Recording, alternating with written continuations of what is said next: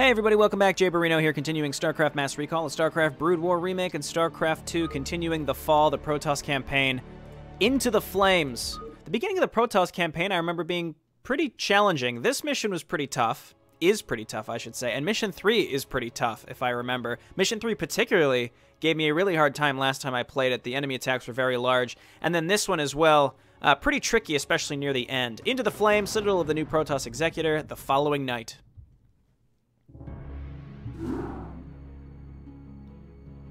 Entaro Adun, Executor. Your defense of Antioch has restored my faith in the Templar caste. I admit that Tassadar's desertion had shaken my faith. Indeed, Aldaris. I would hope that the Judicator would put more faith in their Templar brethren. Tassadar, where have you been? Be silent, Judicator. There is no time to waste. I have much to tell you. As you know, the Zerg vanished after the fall of the Terran world of Tarsonis. And though the Conclave bid me return home, I was compelled to remain. A powerful psionic call drew my attention to a remote barren world named Char. Apparently the call was answered by others as well. For upon Char, I encountered those who were once our brethren. The Dark Templar. Consorting with the Fallen Ones is heresy. Enough! Hear me, Executor, for I have learned much from the Dark Templar Prelate, Zeratul. The Overmind controls its minions through agents called Cerebrates. Strike down the Cerebrates, and the swarms will surely fall. Executor, Tassadar may be right. If you can keep the Zerg occupied, my force may be able to penetrate their perimeter and slay the abomination. I pray we can trust you, Tassadar. Already I can sense the taint of the Fallen One's influence on your mind. You must return to Aiur at once. My concern is for the safety of Aiur, not the judgments of the Conclave. I will return when the time is right. Alright, Tassadar, you're leaving out a really crucial piece of information here that we're all going to suffer for later. Distract the Zerg while Fenix gets into position, kill the Zerg Cerebrate, Fenix must survive. Did Tassadar know at this point the importance of the Dark Templar being involved in killing Cerebrates? I feel like he knew this. Velrog Broodhive Cluster, Aiur. Or maybe it was just a coincidence that Zeratul was the one that killed Zasz. I'm really not sure.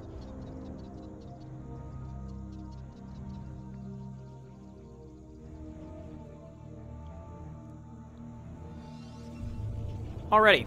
So for the most part, we really just have to defend ourselves at the beginning of this map, which is uh, easier said than done. We now have shield batteries, which is wonderful. Build a shield battery to recharge your unit shields. Very helpful tip there. So let's just go ahead and get uh, get building. So I'm just going to make a lot of Zealots Dragoons. The only difference in this mission uh, over mission 1 is that we can make shield batteries. And there's a giant Zerg base pretty much on the entire right side and bottom right side of the map and we will want to try to destroy it later, but the goal is to get to the Cerebrate, which is nested, nested as far into that base as possible. The, the idea is once this, uh, this 15-minute timer completes, then uh, Fenix will show up with a bunch of units, including some Reavers, and then we have to make sure we have enough money stockpiled to build Scarabs in those Reavers, or replenish the Scarabs in those Reavers, and then destroy the production while bypassing the main Zerg defense. We're still going to use our army to push into that Zerg defense, but for now, uh, that will not be the case. So there's two entrances into our base. Got some random Zerglings up here. By killing these, I just expect them to be replaced, but let's just move on over here. And I'm going to want to get a forge as soon as possible. I want to get that plus one weapons and armor very, very quickly. Now, there's also an expansion to take, and it's in the bottom left. And I think I'm actually going to try to take it before the timer runs out. Normally, uh, I end up having to take it anyway because I run out of money here to replenish my scarabs and to continue pushing into the Zerg base, and it really makes it challenging uh, to complete the map. It's very, very annoying, honestly. So let's go ahead and set up some cannons up here. We're going to need one or two at the top of our base as well, because there is a ramp up here, but I don't think the Zerg necessarily attack us directly from that direction. Let's go ahead and get a second, a second, a fifth Zealot. Yeah, so as you can see, these Zerglings are getting are getting rebuilt. That's about what I expected. We can actually get some shield batteries sooner rather than later. And actually, I'm, I am going to get at least one. I think they can now heal cannons, but I'm not sure about that. Let's go ahead and throw down a forge. Someone left a comment saying they can now heal cannons. But again, I'm not 100% sure that that is the case. We will find out. They are on autocast. There were some there were some major differences, I should say, between Okay, pretty large attack. There are some major differences between uh, shield batteries in StarCraft 1 and in Mass Recall, and then subsequently with uh, with the Legacy of the Void shield batteries. Very, very, very large differences. So obviously, if you've played Legacy of the Void, you would know that uh, main difference there is that they are, are they are auto-casted. They can heal your units. They don't stun your units and they can heal buildings. Now, in the original Mass Recall that I played, not the original, but version 5, when I played it, uh, they were different in the sense that they, they were autocast, because that's new. In StarCraft 1, they were not autocast. You could right you could hit R, the hotkey for recharge shields, and, and click on the ground, and that was useful. But other than that, they did not just work uh, unless you told them to. Also, yeah, so they weren't autocast, and they actually stunned the unit when they actually completely stunned the unit when they were uh, targeting something. So let's check this out. Select a unit. Okay, use recharge auto casting to recharge all of your units in the shield battery area. So do we have to turn that on or is it always, it's already on auto cast? Let's check this out. Okay, so we're not stunned. We're not stunned. One big thing I remember is that you could have multiple shield batteries healing the same unit. I believe that's been completely changed, which is definitely for the better because that just makes no sense. Uh, I think it was considered a bug back when I played the first time. Okay, so let's go ahead and just keep making probes. We're going to want to get a lot of cannons up here. Not so many that we can't uh, build more units, but we're going to need a lot of cannons and a lot of zealots and dragoons. I mean, I don't know what else I would build in this mission, so we're just going to get more... I'm going to go ahead and get more cannons and get more shield batteries. I'm going to get a shield battery right here. Get more cannons on the edge, sort of on the edge. Another one there. Okay, and I don't want to go overboard with cannons. I think four is probably more than enough. And I'll get even another shield battery as well when we can afford it. Then I'm just going to start making units. You can see, so these uh, these attacks get very, very large. It is working on the uh, the photon cannon. That's actually really interesting and really helpful. This uh, this cannon would have been killed if that was not working the way it was working. So I definitely want to get more shield batteries because shield batteries seem very awesome. very, very awesome. I'm going to get one right here, too. Get another cannon further up as well. Okay, so that's great. And uh, let's just... I think this is saturated enough right now. I might want to get even one more, but for, for now, I think I should focus on units. Looks like I can... When I box like this, I end up grabbing all of the shield batteries. Uh... I'm not thrilled with that. That needs to be fixed, because when I box, I should only be getting my units. No, wait. That is working.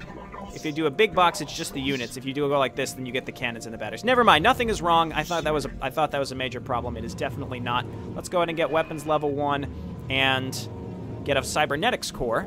So my, my goal is to take a small force with one probe to come down here and take this base. Now the issue is that... Are they attacking me up here? I don't think so. The issue is that if I Let's get one cannon up here.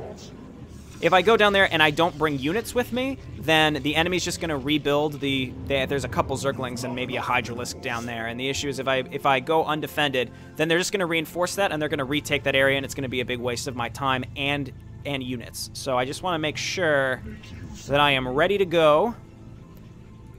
I do need I do need more cannons here though, without a doubt. I mean, this one is in danger of going down at all times, but that's not a big deal. I just want to... As long as I have the time for the energy to come back and my shield batteries, we're in very, very good shape.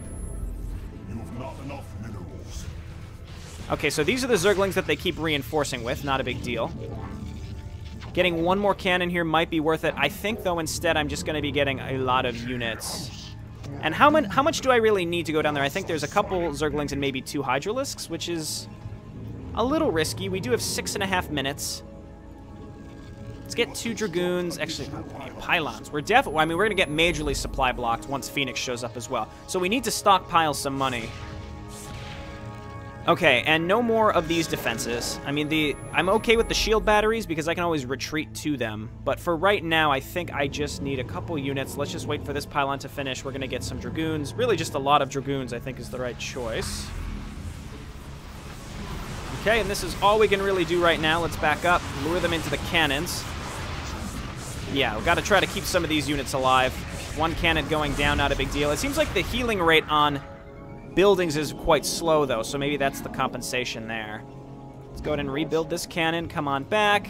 We need Dragoons and Zealots, and we're going to move out. I think what I'm going to do is go with this group. We're going to rebuild the units at home. Okay, and let's see if we can sneak by. We don't want to we don't want to attack the Zerg area. They're right here. We we just want to avoid them completely. This is good. Okay, perfect. And then we're going to walk up here minus the probe. These units are going to remain here. We're going to move in and take this base. Okay, it's three Zerglings and one Hydralisk. So they are going to re... They are going to definitely uh, send these units back in at me, so I do have to be prepared for that. So let's go ahead and set up this Nexus. As long as we keep our Dragoons and Zealots up here, because they're going to just resend that this stuff. As long as we stay up here, then we're fine. I do not expect them to come down here. I expect them to just keep attacking my main base. So I think we'll be fine. I really do think we'll be fine. Let's get more Zealots. We can transfer probes eventually. But for right now, we, I don't think I can really risk it. Let's go ahead and get ground armor. We're going to need, definitely need more pylons. Specifically for when the Zerg come and uh, try to attack us. And when Fenix shows up. Primarily when Fenix shows up, not when the when not when not really when the Zerg come and attack us. So this finishing is going to be awesome. And the fact that I was able to take that in advance is a big deal. And again, I think I'm just going to get maybe two or three more pylons. I should get another one over here just in case. I have kind of an Artosis pylon going on right now. Okay, this is good. Got about the, the right amount of units right now. They're just sending overlords over in this direction. That's fine. That's larva that they're using to build that stuff, and the larva they're using to send zerglings up in this direction they're not using to currently attack me. That's a big deal, actually. Okay, let's get more Dragoons, I think. Cool. And now we have minerals here. And I'm going to start saturating this, and I'd like to transfer some units, though I don't know when the Zerg are come and attack me next, and I... You know what, I'll quick save, and then I'll try... I think I'll quick save, and then I'm going to try to run some drones over. So, like, four drones, that should be good. Five drones. I think this is... If I can make it over with this amount, that would be really, really nice. It's just, if they come and attack me right now, I'm screwed. Let's see if we can make it. Let's just right-click right here and see. Yup, that was the worst timing. That was the... Okay, we're to reload the quick save. That was just the the worst possible timing. I knew it was to happen. I was completely prepared for that to happen exactly the way it did. Okay, so after that, after this attack happens, we will be we will be ready. Hopefully these uh, these Dragoons finish in time. I'm also going to maybe queue up... Nah, I'm not to queue anything up. I'm just to wait, queue up some probes, and then maybe we'll grab shields level 1 when we can. Shields, shield upgrades are absurdly expensive in StarCraft 1. 200, 200, 300, 300, 400, 400 is ridiculous. We'll go ahead and queue it up now. All right, here they come. Let's get in there. Okay, one cannon already going down. We, the cannons need to focus on the Mutalisks, so they're doing fine. We're going to lose some Zealots here. The shield recharge rate seems seems actually pretty normal. I was going to say it seems lower, but it's not. I would say it's it's about as uh, as fast as you could expect it. Okay, so this group, let's just go ahead and right-click down here. They should transfer, and then that's the income that we're going to need. That's the income that we're eventually going to need, specifically with uh, specifically with the Reavers, because we're going to need major income to replenish the Scarabs on the Reavers. That's really the only major thing. And then I'd also like to start Singularity Charge. No advanced structures means no Citadel of Adun Unfortunately. But let's go ahead and try to get Singularity Charge started before Fenix arrives.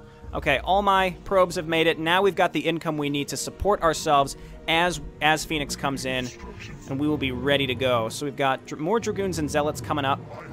I think the Zerg continue to attack my base when Fenix shows up. It is a bit of a microfest once Phoenix shows up, but now that we have this income, we're in very good shape. We don't have to worry about this these units down here anymore. We can link up. We have a nice a nice force right here ready to push in, but it's just a lot of sunken colonies.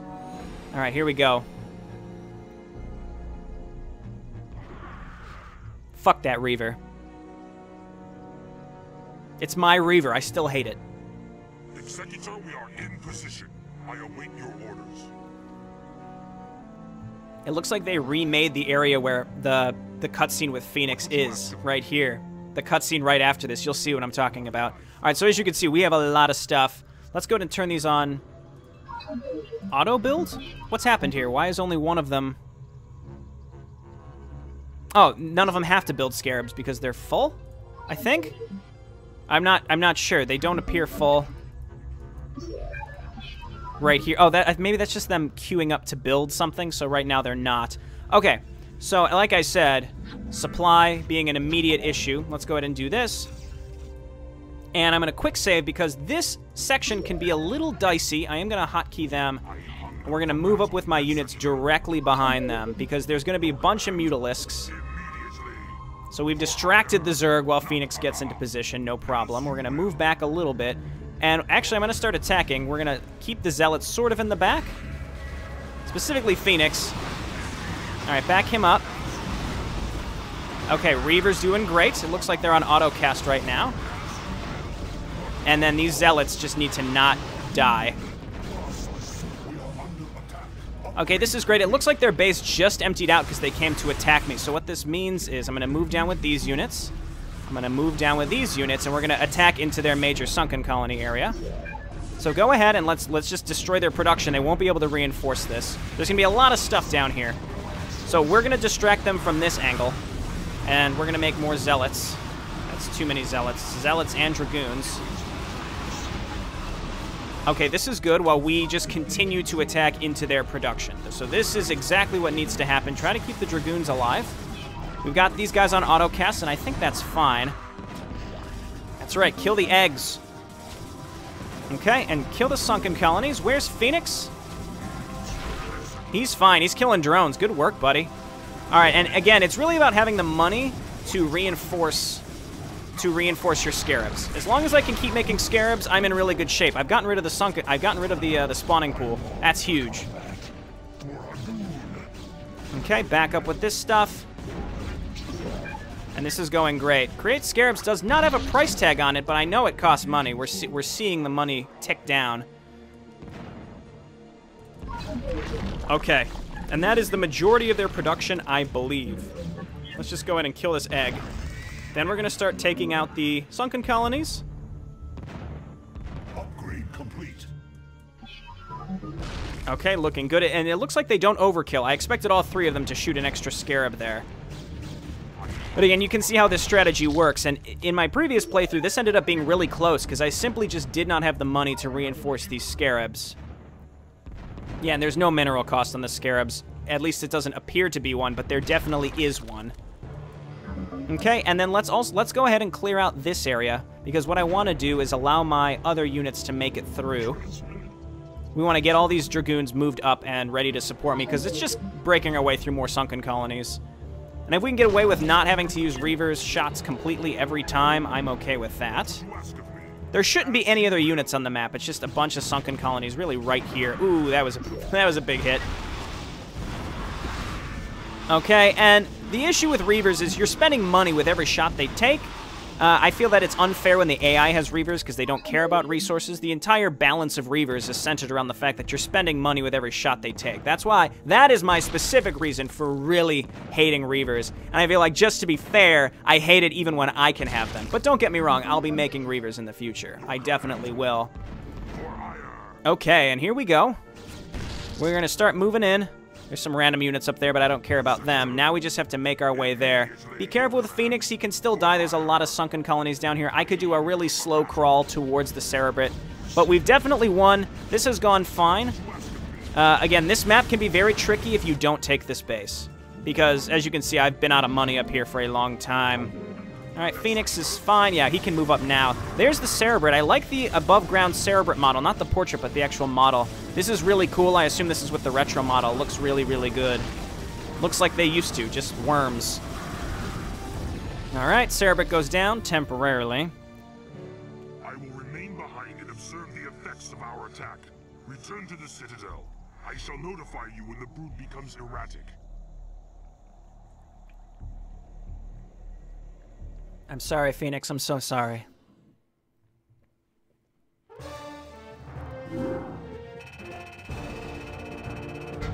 Okay, let's go ahead and quit, and then we can watch the cinematic. I think if I hit continue, it'll play the cinematic and then immediately go to the next mission, which is not my goal.